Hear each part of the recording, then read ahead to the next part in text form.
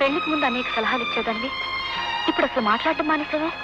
అప్పుడు ఏదో తెలిసో తెలియకో నువ్వు అడిగినా అడగకపోయినా ఏవో సలహాలు ఇచ్చేదాన్ని. కానీ ఇప్పుడు? ఏదో పాతకాలపు దాన్ని. పురాణాలు చదవటం తప్ప ఏమీ తెలియదు.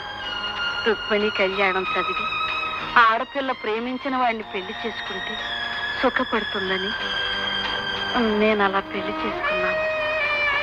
నిన్ను అలాగే చేసుకోమన్నాను.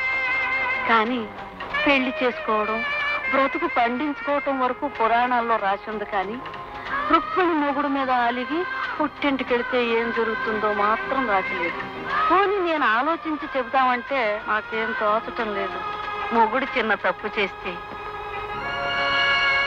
వాడి ముఖం మీద ఎలా గుద్దాలో తాలిబొట్టు ఎలా తీసేయాలో నువ్వు బోన్లో నిలబడి తెగేసి చెప్పగలిగావు.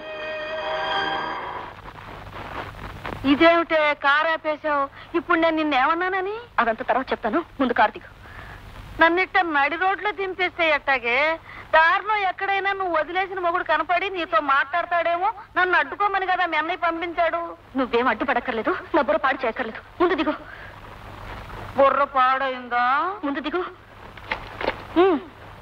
అమ్మో! డ్రైవర్ కార్ పని.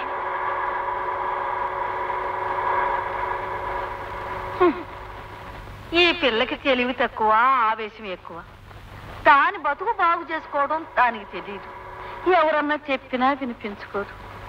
ఇప్పుడు నన్నేంటి? ఇలా నడి రోడ్డు మీద వదిలిపెట్టిపోయింది? నేనెట్టా చావును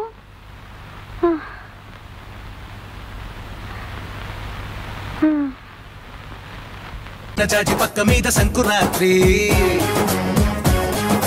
మొగుడు పెళ్ళాలుగా మొదటి రాత్రి.